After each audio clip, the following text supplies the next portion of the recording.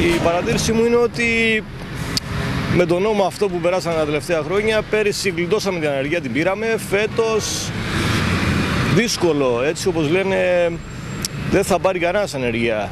Λένε το μέτρο είναι ότι τα τελευταία τέσσερα χρόνια όσοι έχουν επιδοτηθεί με 450 μέρες ε, επιδοτούμενες ε, ανεργία, δεν θα πάρουμε. Εγώ το βλέπω ότι τα τέσσερα τελευταία χρόνια επί 150 ημέρες που επιδοτούμαστε το χρόνο μας κάνει 600, οπότε μείον αυτή τη χρονιά που θα πάρουμε 150, μας μείνουν άλλα τρία χρόνια επί 150 μέρες μας κάνουν 450 και βλέπω δυστυχώς ότι ούτε και του χρόνου θα πάρουμε ενεργεία. Στην καλύτερη περίπτωση να πάρουμε ένα-δύο μήνες.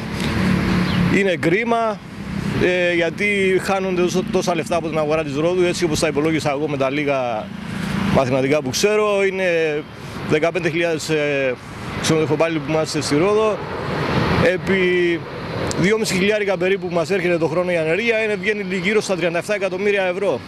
37 εκατομμύρια ευρώ φέτος που θα χαθούν από τον αγορά της Ρόδου και από τα σπιτικά της Ρόδου, τις οικογένειες μας, συν άλλα τόσα του χρόνου, δεν ξέρω πώς θα, τα, πώς θα τη βγάλουμε.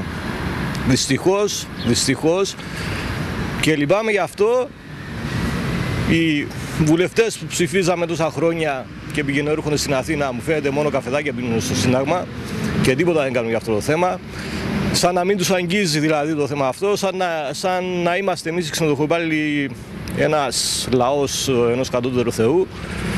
Δεν τους νοιάζει καθόλου που θα πεινάσουν οι οικογένειες μας το χειμώνα. Αυτό ήταν ένα έσοδο που βοηθούσε λίγο πολύ τις οικογένειες να περάσουμε μια νεκρή περίοδο του χειμώνα έτσι όπως γίνανε, ούτε δουλειές υπάρχουν. Κακά τα ψέματα, παλιά όταν υπήρχαν δουλειές δουλεύαμε και λίγο μαύρα, τα βγάζαμε πέρα. Τώρα τίποτα, τίποτα, τίποτα, δυστυχώς τίποτα και κρίμα, κρίμα, δηλαδή εγώ αισθάνομαι ντροπή, αγανάκτηση και τι να σας πω για τους βουλευτές, τι να πω. Έρχονται, έρχονται την Παρασκευή το βράδυ, πάνε στα σπίτια τους, Δευτέρα πρωί-πρωί φεύγουν, τον περισσότερο χρόνο τον, τον περνάει στο Σύνταγμα, στα καφενεδάκια, στις καφετέριες πίνουν καφεδάκια. Όλοι τους βλέπουν, όλοι τους βλέπουν εκεί. Γιατί πιστεύετε ότι ο ξενοδοχός υπάλληλος της ΡΟΔ δεν έχει επαναστατήσει ακόμα, δεδομένου ότι μαθηματικά τα επόμενα δύο χρόνια η πλειοψηφία των ξενοδοχό υπαλλήλων δεν θα πάρουν ανεργία; Ε, γιατί οι απόψεις δίστανται. Άλλοι τους λένε, δεν ξέρω για να τους καθησυχάσουν, ότι θα πάρουν ανεργία, αλλά δυστυχώς εγώ από ε, πηγές ε, πώς να το πω, καλές. Έχω μάθει ότι τέρμα η ανεργία, τέρμα παιδιά, τέρμα η ανεργία, σίγουρα, στα σίγουρα, στα σίγουρα, τέρμα η ανεργία, για αυτόν τον χρόνο. Τέρμα. Από τον επόμενο πηγαίνουμε και στα 400 ένσημα.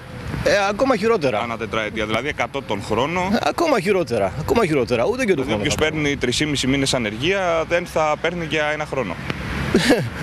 ούτε και του χρόνου θα πάρουμε ανεργία. Δυστυχώς. Δεν και χρόνο. Υπάρχουν οικογένειες που δουλεύουν και ο άντρας και η γυναίκα και ένα παιδί, ξέρω εγώ, και έχουν να σπουδάσουν και ένα-δύο παιδιά.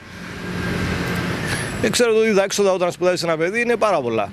Αυτοί υπολογίζουν ότι έχουμε ξέρω εγώ, ένα χιλιάρικο το χειμώνα το, το μήνα μας ανεργία. Θα στείλουμε και το παιδί μας που σπουδάζει. Θα περάσουμε και εμείς κουστά στραβά εδώ.